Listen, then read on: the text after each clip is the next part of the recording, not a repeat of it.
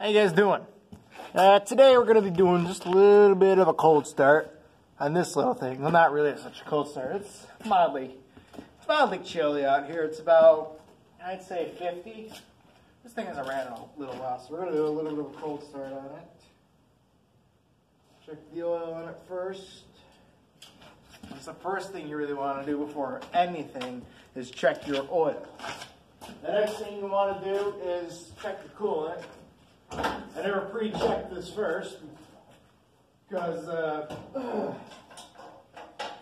I was too lazy to. Plus, on one of these old tractors, you really want to, if you don't know how to check the coolant, best to look it up first. Luckily, I know how to do it. You the battery out of the way so you can get in here. I'm not bringing you in here up close because. Uh, I don't really need to. He'll sit right there. Do just fine right there. Okay. Looks good. The trick with coolant is once you see the reflect the reflection on the uh, or in the uh, radiator coolant, then you got plenty in there. If it's full to the top, you need to drain it out and fill it up properly. Drain a little bit out until it's full to the proper fill point. Okay, that's that. Now, we'll uh, get up here, grab our fuel. That'll be in there. Should probably throw some uh, lead additive or some sea foam in here, but I'm not going to. So the camera on the. Oh my gosh, it's been a while since I've sat in this thing so, right there because uh, this thing's actually pretty loud when you're brush hogging with this thing. I, I, put it up at rated RPMs, which is about 1800 RPMs when I'm brush hogging. But, uh, all right, well, let's get it fired up here. Here, let's see. Cross fingers.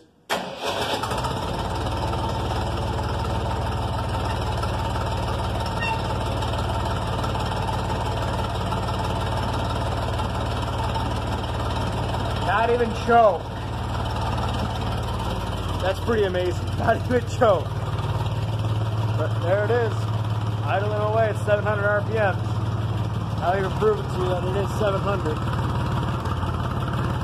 Well, somewhere in there it's 700. So, you may notice that the beat isn't out here anymore. We got stuff painted for it back there, and you can see it over my shoulder. But we're actually going to be doing a paint job on it, on the B. Um, just coming back here to look at my wood pile. We got seven rows of wood stacked right here, six rows at a start of a seventh right there. Um, my plan right now is to get this fully stacked up just below the window there and stacked out to about where I'm standing. And then move that thing right there the Honda FourTrax 250 out of the way and stack up that area of wood as well. I'm probably gonna move this thing back there and move the bikes behind my tractor when it runs or behind the camper there. Um, go out there and I'll show you the beach. That's at. I'm not gonna run because uh, I kind of pulled a hamstring. Not really. I just don't feel like running today. Okay. So the B. I pushed it out here. Well, towed it with the rancher. Got it out here. I'm looking at it right now. Sanded it down and we were gonna prime it yesterday, but my painter did not come out. So here it is. I got it sanded down. It's got this yellow primer on there, which you can see right here. That was on there since factory. And this thing was bought new in 1945. This tractor is a 1945 according to the signer's book and tractordata.com. So, um, I just I just washed it degreased it with some gunk.